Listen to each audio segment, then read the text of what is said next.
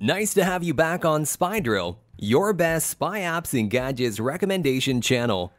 In one of our previous videos about KidsGuard Pro, we explained that how you can download the KidsGuard Pro app on the target Android phone, and in this video, we will share with you the uninstallation process of the app. But before going any further, please subscribe to our channel for new video updates.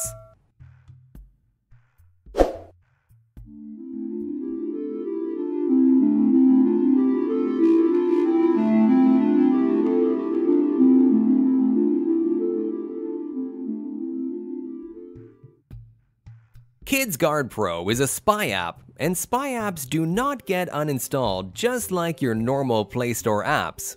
These apps will not appear in the app drawer of the target phone in the first place.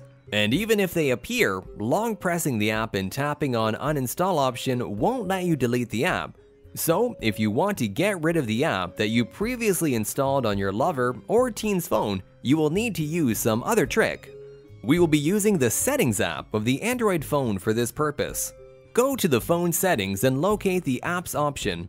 Under the Apps, you will find an option by the name System Update Service. This is what KidsGuard Pro is named on the target phone in order to hide its identity. After tapping on System Update Service, you will see an uninstall option at the bottom and you need to tap on it. On the next screen, select the Deactivate and Uninstall option from the bottom. Finally, confirm the uninstallation by tapping on OK. With these few steps, you have successfully got rid of the KidsGuard Pro app. If the app was showing some icon in the app drawer, that too will disappear once you uninstall the app. So this is how you can uninstall the KidsGuard Pro app from the target phone once your purpose of tracking your loved ones is complete. Hope you liked this video, and don't forget to subscribe to our channel for more videos in the future.